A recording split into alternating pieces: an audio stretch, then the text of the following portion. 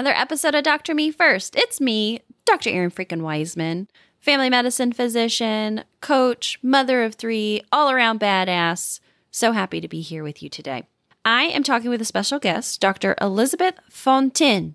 I'm working on my French, but it's not so much. She's a French Canadian who is an OBGYN in Vermont, and she is doing some really, really cool work that we're going to talk about today. But before we do that, let's pay some bills. So, here's a real quick message from Resolve, a physician contract review company. At Resolve, they believe that knowledge is power for physicians, and that power gives you the control over your financial future. Resolve believes that by mining, analyzing, and synthesizing data, they can provide you with the information and insight that empowers you to diagnose the health of your career, full understanding of your worth, and maximize your potential when it comes to your contract. As a company founded by a doctor for doctors, Resolve's focus is on the well being of those whose purpose in life is to care for the well being of others. To have this incredible company review your employment contract, which you can do at any time, not just when you get hired, find them at drpodcastnetwork.com backslash resolve. The link is in the show notes. Okay, let's get into our conversation. Here we go.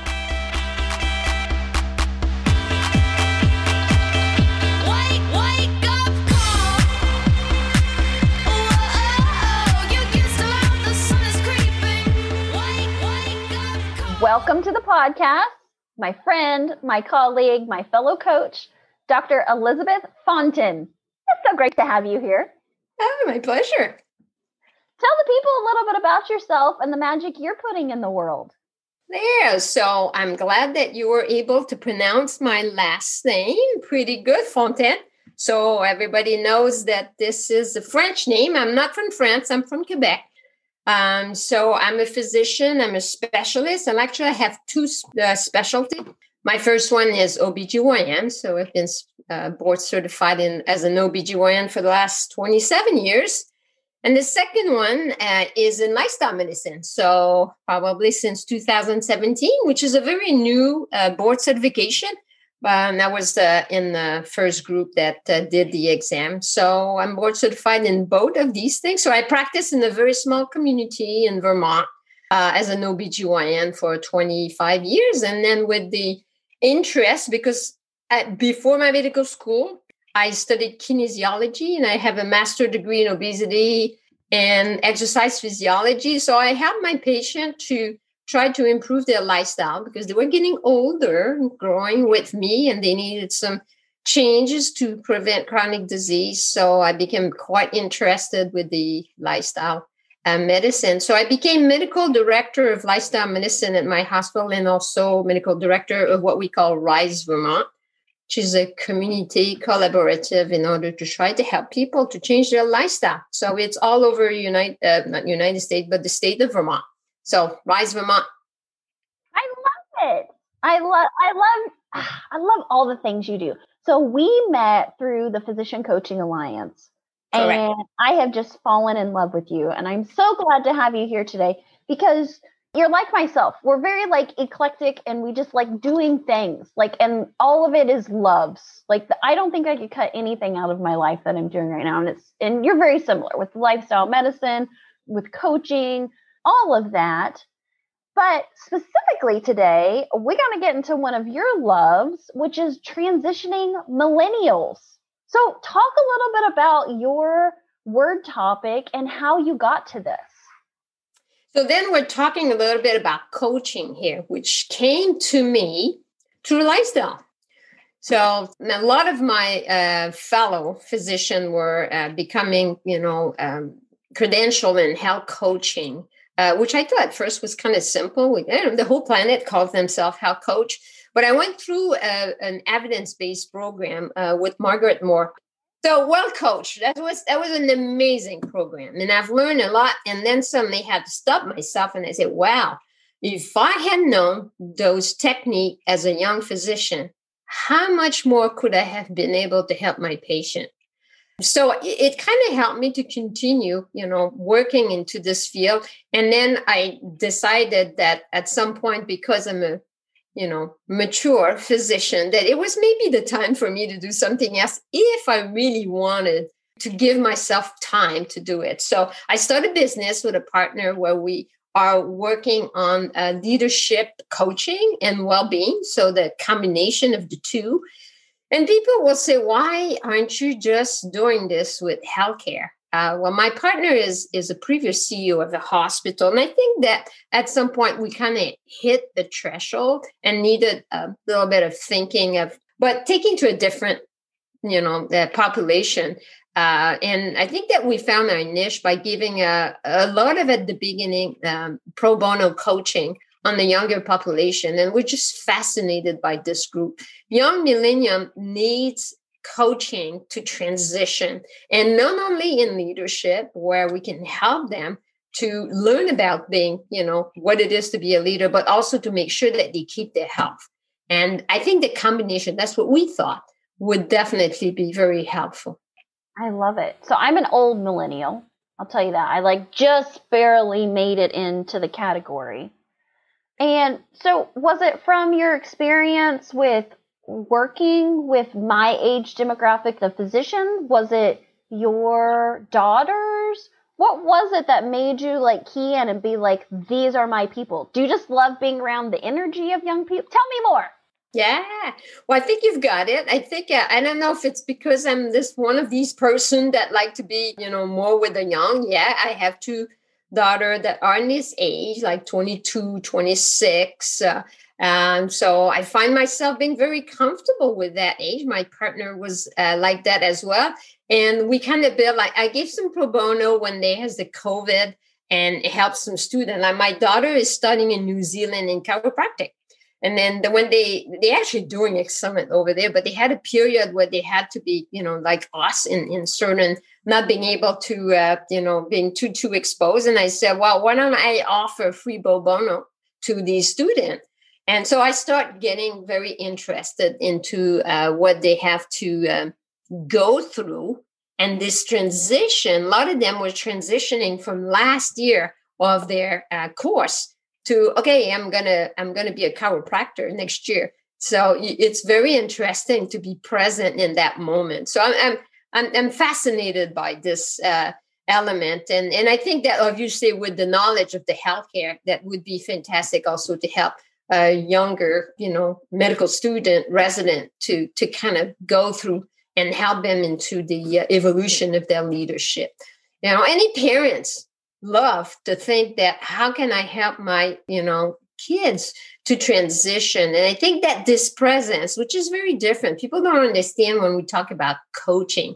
It's really this thinking partner that help them to have this self-discovery and self-awareness. And, and that is something that we don't have the chance to talk. I mean, my kids don't necessarily go that deep with me, and we can go very deep with these uh, conversation.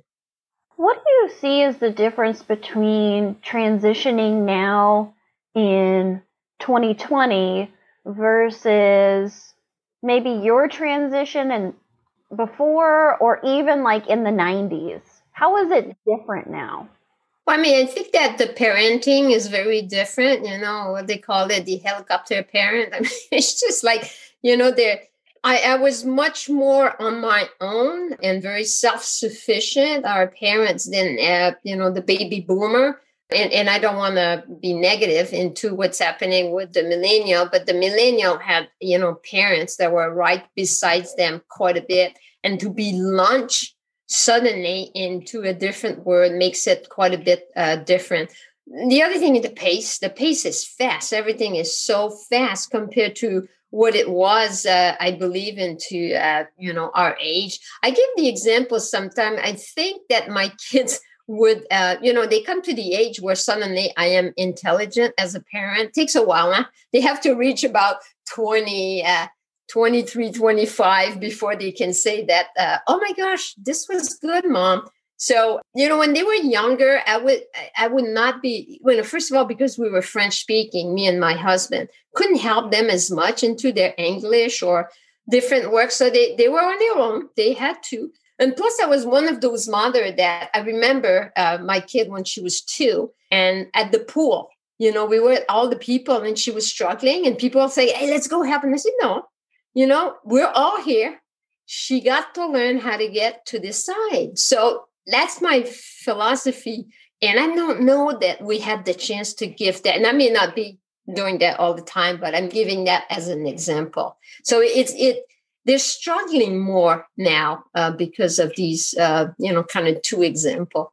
I think that's those are some great examples. Some other things that I thought about as you were talking that kind of triggered in me is I think as the millennial generation, there's been such heavy expectations placed on us as a generation, like starting Chinese lessons at five, or becoming a competitive athlete at eight, or I'm just giving examples that I can think that are, are relative to what I saw and I, I think that's different than previous generations. You know, we kind of dog on millennials. Like these were, you know, kids that have been raised by video games and they don't go outside and da da da da da.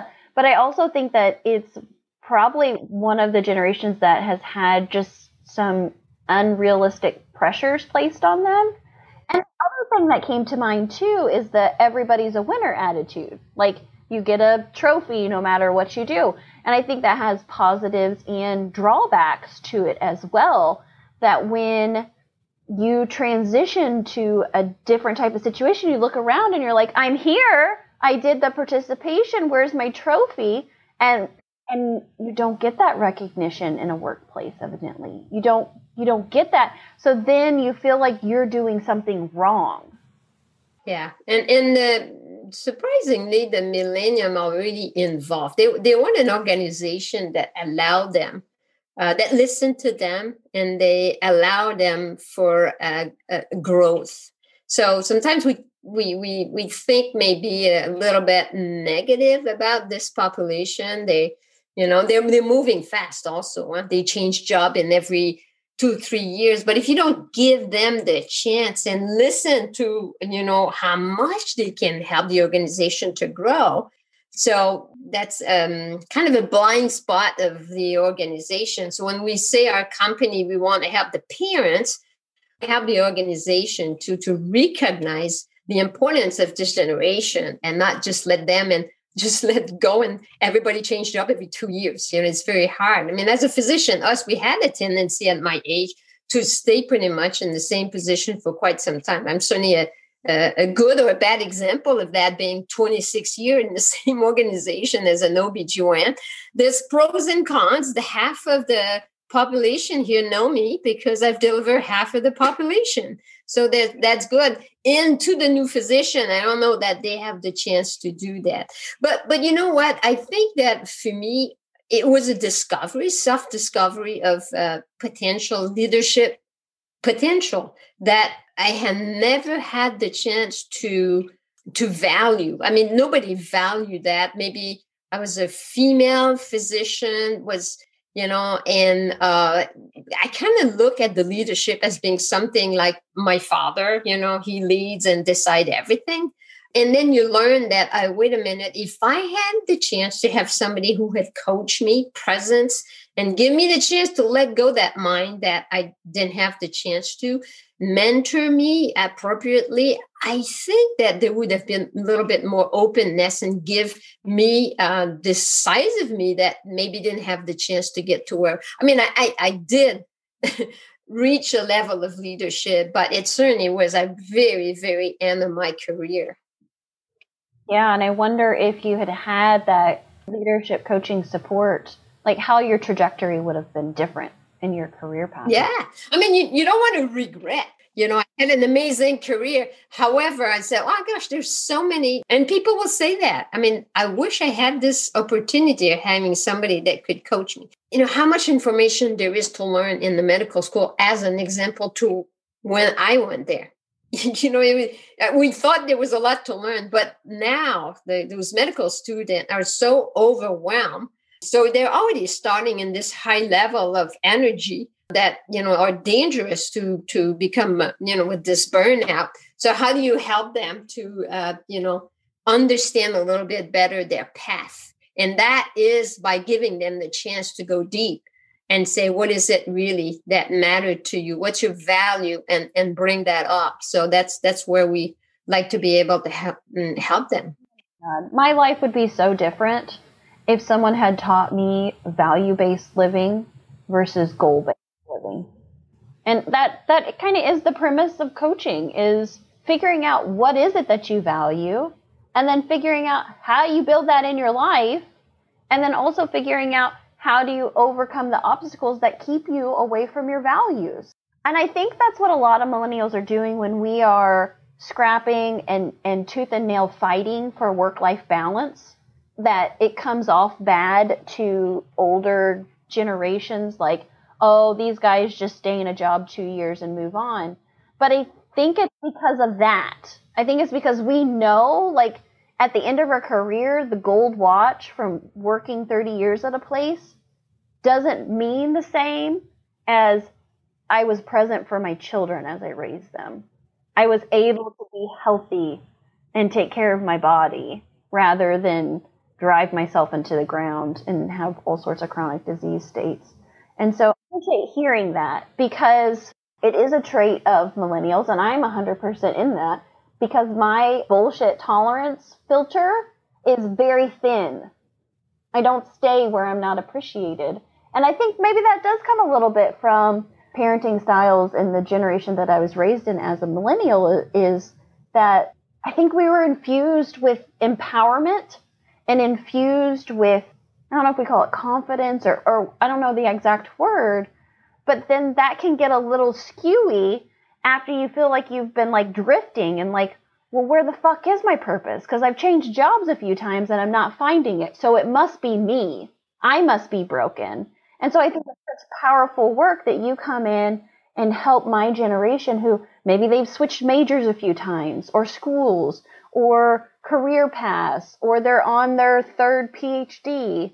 I love that you get to come in and, and help navigate that journey because again, it would have been so instrumental to me for someone to say like, no, no, no, let's root you in your values.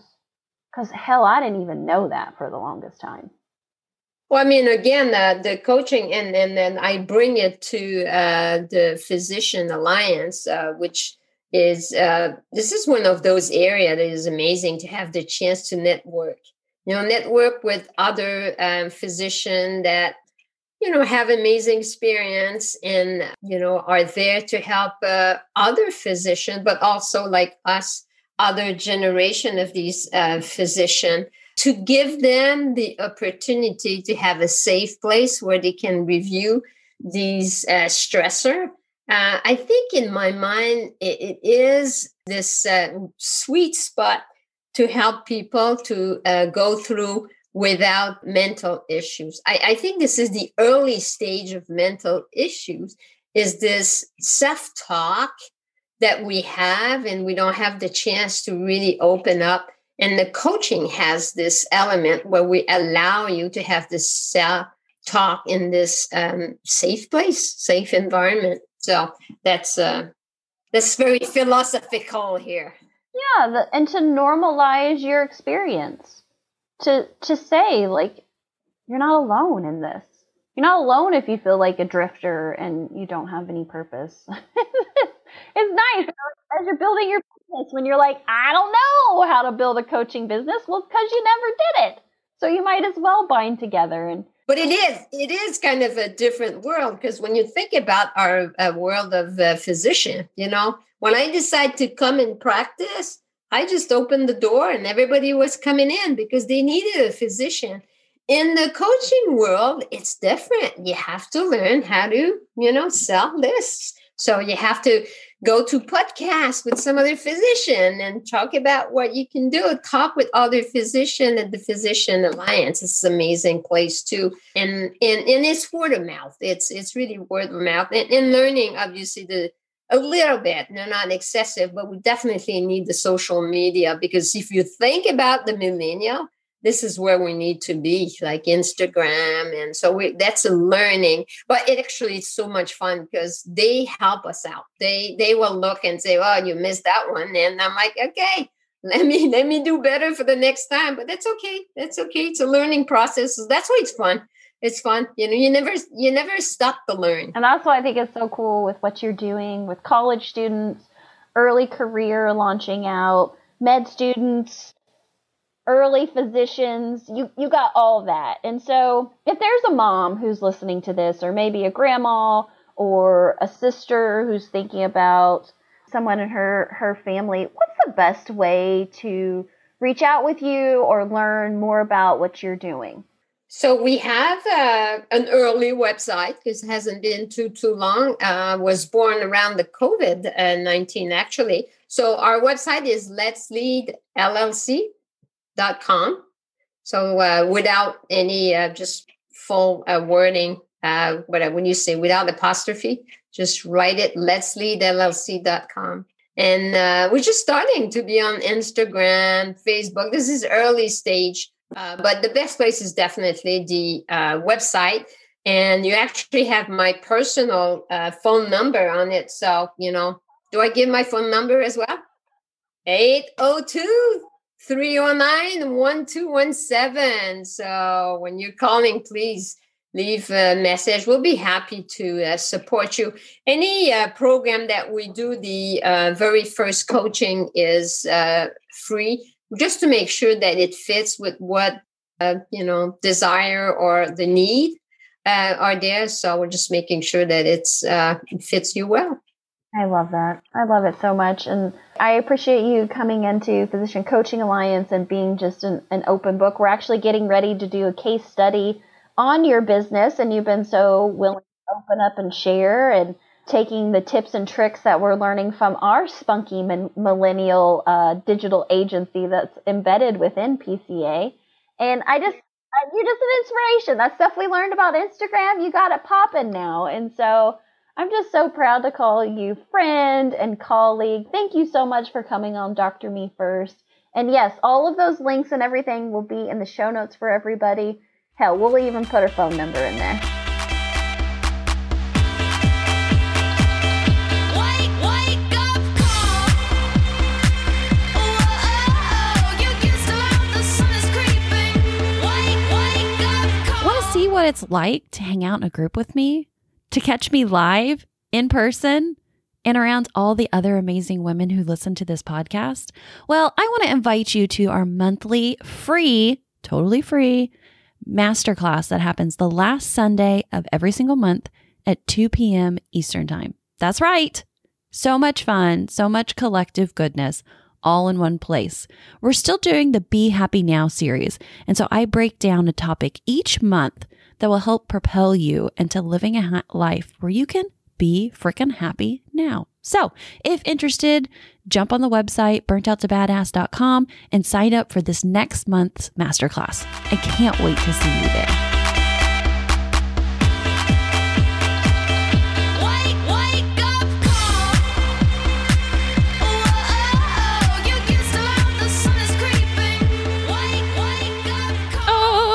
Such a great show today with Dr. Elisabeth Fontaine. Before we end, let's let me give you the link to our sponsor again, Resolve. Remember, if you need help reviewing your employment contract before you sign, and again, you can do this after you've signed, reach out to Resolve, who has great reviews and a reputation for doing that and so much more. Find Resolve at drpodcastnetwork.com backslash resolve and get the review process started today. Alrighty. Really, like, I think this is a great company because how many times are we not empowered to ask for more, to even know what we can ask for more in our contract? So, anyway, that's a total side note. It's a promo plug, but I really do stand behind this. And I think everybody should have their contract reviewed by people who can help you up level. My second kick of encouragement today, right?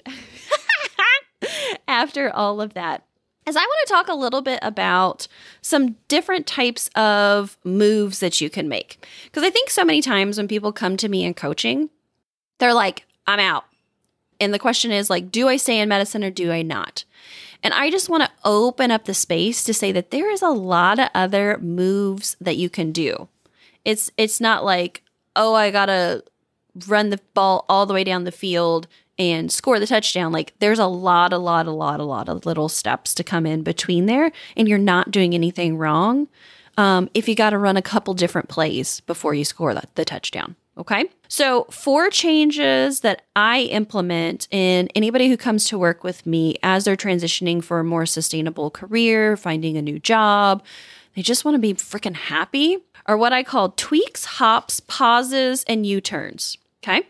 So, tweaks, these are the small changes that you can make right now. They can make a huge world of difference. It can be something like switching your schedule around, your call schedule with a partner, like one day a month. So, like, God forbid you get a three day weekend. It could be purposely blocking out your lunch and then telling your schedulers, like, do not put anyone around that. Maybe it's taking your lunch at 11:30 instead of 12 and changing your schedule around that. Maybe something as simple as getting a desk lamp. This is me right now. Getting a lamp to put on your desk because the overhead light really hurts your eyes and the computer screen is too much and you just need something different. I went the other day and found this really cute white and silver lamp. I'll put a picture of it because I'm doing an office redo right now when I get it all done. But just small things like that that can just enrich your days, that can just make your current situation have that much more space to breathe and feel invigorated and help you move and figure out, help you cheer you up enough so that you can look at the path in front of you and see what you want. These mo- small modifications, yes, they improve your life externally, but more importantly, they help you to feel like you're in control of your life and your work. And that's what keeps you energized. So, actually, my business coach, she talks about like weekly making tweaks purposely. So, I'm doing a mastermind this year because I feel like I got to fill my cup as much as I got to fill other people's cups. And it's been really great to be empowered to be like, okay, what were your tweaks this week? How did you make your life, your workspace, your work, your family space better? And one of the things I did was like, oh, I went and got the van vacuumed out because the crumbs drive me nuts. It spins me into a thought tornado of like, oh my God, this van is junky. Oh my God, the kids have trashed it. They don't respect anything. Oh my God, we need to go buy like a new $40,000 van. That's that's just my thought tornado. So by just sweeping up the crumbs and making those small tweaks, it's like, oh, I can breathe a little better. Life is okay. So that's tweaks. Hops. Hops are slightly bigger changes, but typically on the same path. So maybe this is something that's like asking for a promotion, changing roles in the company, maybe changing the, the amount of your FTEs. It could even be looking for a new job within your organization or area. This type of shift is helpful when you are stagnant, when you've tried all the tweaks and it's time for you to n- make the next step and further enjoy your career. Sometimes this is for people when they add a side hustle or start something else like that. Recently, I got to brag on one of my clients. So she came to me totally hating her job, wanting to quit, like roll up into a ball and just hide from the world. And one of the hops that she did when we really like dug into like what she wants, what she values, what really lights her up was writing. She was an English major in addition to doing all her science courses in college. And I was like, hmm, what's into that? So, working together over the last six months, we actually secured her a medical writing job as a side gig. And she negotiated to change her FTEs in the clinical world so she has space to do her medical writing. You can be both, and you can have those hops. Okay, third motion after tweaks and hops is pauses. This is pumping the brake. This is taking time away to get clarity. When you're moving at a million miles a minute, there's no way to get a grip on all the facts and all the thoughts and all the feelings. It's like drinking from the fire hydrant again, right? So you got to turn the stream down. Maybe it's for some of you just starting with a long weekend because taking a whole week or a whole month or a whole quarter or a whole year feels way too big. That's okay. For others, maybe the pause it is time to take a full sabbatical or FMLA leave or step away. There's no right amount of time. Let me say that again. There's no right amount set of time. What is important is that you're able to stop you're able to sit and evaluate and look at your path forward and really identify what's important to you and how you're going to take the steps to get there. I highly encourage people during those pauses that it's not all about like working on yourself, but it's also about rest and recovery. If you haven't listened to any of my podcasts recently about white space, about rest and recovery, go back and listen to those. So, a pause isn't about just pausing from work and then like moving a million miles a minute then at home and in other spaces in life. Because believe me, I've been there and done that. Pauses are really about like stopping and taking a breath in all areas and seeing what's staying and what needs to be cleaned out of your life. All right. And the last motion is U turns. This is the big kahuna. A U turn is a full out recreation or maybe renovation of your career, your life, your lifestyle, all of that. I always caution people who are thinking, I'm just going to quit it all and I'm going to do something else. Like I tell them when they start coaching me, you're not quitting your job tomorrow. Like a U turn is never a good thing to do spur of the moment. Just like when you're in a car and you're going to pull a UE, like never a good idea. You need to find where there's plenty of space, that you're the right speed, all of that kind of thing. But I'm not saying that U turns aren't a bad idea. They just need to be in the right setting. So I tell people typically, if you've started to think about this, you know, you have to go through some of the other tweaks and pauses and hops before you make the U turn just to make sure you're not throwing the baby out with the bathwater.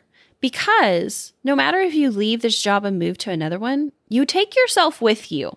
So if you haven't worked through your shit now, it's just going to follow you into the next one. Because doing a U turn and exiting your career, it requires time, energy, money, maybe some re education, new education, learning something new. There's also that investment into of identity and who are you if you're not this thing that you're doing now. So it can typically be more than you anticipate. So I really advocate for career changes, especially, you know, of course, since I've done them. But I do ask while you're burn- working through your burnout is that you don't just see the U turn as the only option. And also give yourself time to process through and give yourself space to work with someone who can help you through that. Just like in driver's ed. Like you just don't put a kid in a car and you're like, all right, drive it and send them out on the interstate to go 75 miles an hour. No, like you get them in the car, you sit in the passenger seat, the driver's ed teacher sits, you know, switches out, whatever. I think it's really important as we use that analogy to be like, who's going to be sitting in the passenger seat with you? Because you get to pick that. All right. So remember, you can mix and match, redo, try more, any of these motions, but you just can't stay still. You cannot stay where you're at today, friend. And so remember, it's important to recognize your needs and know that you can adapt. You are in control. All right. This was a long one, but a goodie, I think. Remember, your life, your calling, your pulse matters.